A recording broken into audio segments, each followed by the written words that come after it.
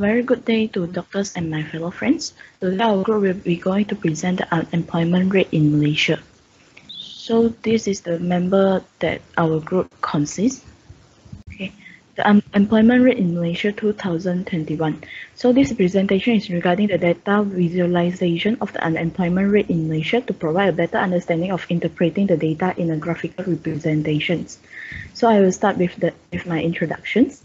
So Malaysia had a movement control order which known as MCO since 18th of March 2020 due to the pandemic COVID-19 in our country. The government has announced some standard operation procedures SOP to ensure the safety and health of the residents. The most influential and direct thing that we can see is the government being forced to close some economic sectors to reduce the crowd and the risk of getting disease. Therefore, some business might not support their business in a long-term period and make them face the crisis of bankruptcy. The employees need to dismiss of some of their staff to maintain or reduce their business funds. This has made many residents to lose their jobs and become unemployed. Here is some of the data that we have researched. Okay, so I'm presenting the data. This is the first example that use data visualization to describe the number of employed person by status using pie charts starting from December 2020 up until March 2021. As you can see, uh, the blue sector, which is the employee employed percentage increases each month, indicating that more business economic has been opened up, while the percentage for employer also has increases each month, which is more individuals has started their own businesses. Meanwhile, the percentage of the unpaid family worker, the green sector, has decreases each month, which is great because more individuals has been paid for working.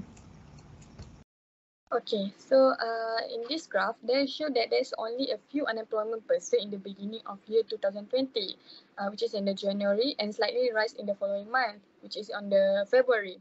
So, um, and up to 2020, the unemployment rate escalated from 3.90 to 5.00 percentage point and continued to rise to 5.30 percentage point in May 2020. So if we can see uh, here in the color of the bar chart, it actually represent the number of uh, unemployment person. So uh, during the first movement control order, the MCO, the government uh, ordered many sectors to shut down their businesses. So this may have contributed to the drastic increase in the unemployment rate during that month.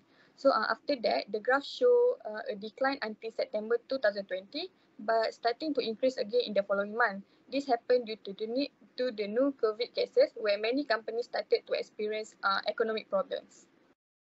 So we have proposed some solutions to overcome the unemployment rate. Firstly, the government should encourage self-employment and entrepreneurship. Besides that, the government need to enhance the education standards and qualities. Next, the government need to ensure political stability. Next. The last three solutions are a stable business should offer a tiny platform to unemployed individuals such as dropshipping or delivery service. Unemployed individuals should apply for unemployment insurance. And lastly, unemployed individuals should work on their soft skill, be more resilient and competitive. So in conclusion, as we know that unemployed individual refers to those who do not have a job but are interested to work. There are two groups of unemployed that are actively unemployed and, and inactively unemployed. We also can see unemployment problems increase sharply and continued with high readings due to the pandemic of COVID-19. This will actually take a long time to recover and this unemployment problem will become increasingly worrisome.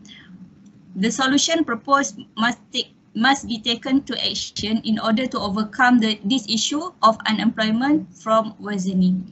That's all for our team. Thank you.